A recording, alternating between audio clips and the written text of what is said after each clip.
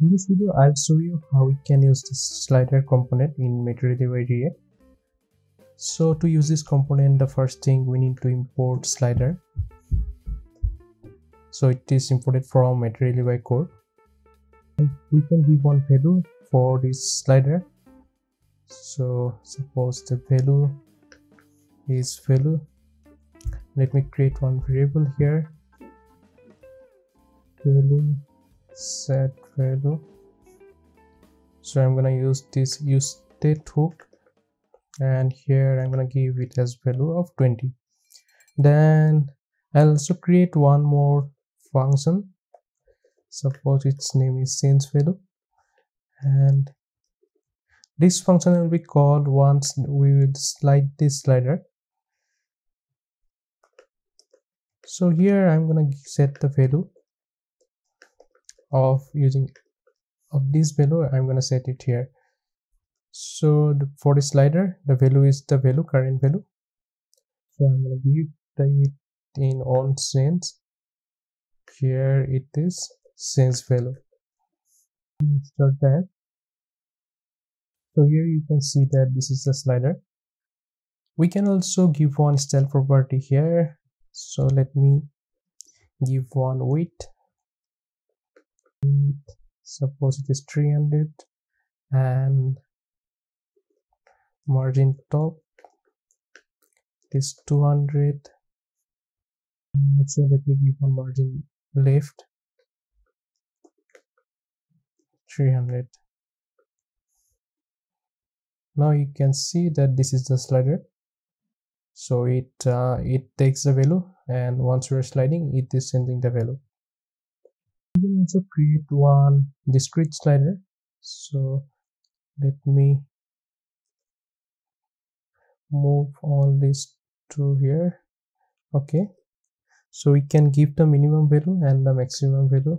Suppose the minimum value is 10 and maximum value is 100 and also give one step here. Step is 10 then so if i now refresh it then you can see that it's moving at an interval of 10 it's not moving continuously it's moving at an interval of 10 we can also show these marks or these uh, intervals. So you can see that some marks are added once i added this marks property then it is moving at this 10 interval. I just show one tooltip for that we need to use this get aria value text. Aria value text equal to get text. Let me create one get text function. And here i'm gonna pass the same value. We have so if i refresh it okay. Also we need one more thing it's called value label display. So here i'm gonna set it as auto. So let me refresh it. Then you can see that it is showing one tooltip here. We can also mark one slider as disabled. So for that we need to add this disable property. So it is disabled. We can slide it. It will uh, pick the default value and it will show the default value always. We can also use some custom marks. So let me comment it out. So let me some create some marks custom marks. So here we need uh, this is an array an array. So it says like for which value what we want to show so suppose for we have this from starting from 10 10 to 100 so for value 10 suppose i want to say level as suppose it is 10 dollar. Similarly i can copy this object. So for 20 let's say it is 20 dollar. For 30 similarly it's 30 dollar I can pass these custom marks in this marks property. So if i send it here then you can see that it is showing these dollars. So let me change the width of this slider a little bit more. Suppose it is 900 then you can see that it is showing these marks on its step so here you can see that we have provided up from 10 to 50 but we can also go to the 60 70 80 90 100 but here if i send the step as null then we can't go here. We can go only for these values that we are providing here. So let me add one more. 400 now i can go directly to 100 i can move to the 60 70 all this. This auto but if i set it as on? Then you can see that these tooltips are showing always. Also invert this track?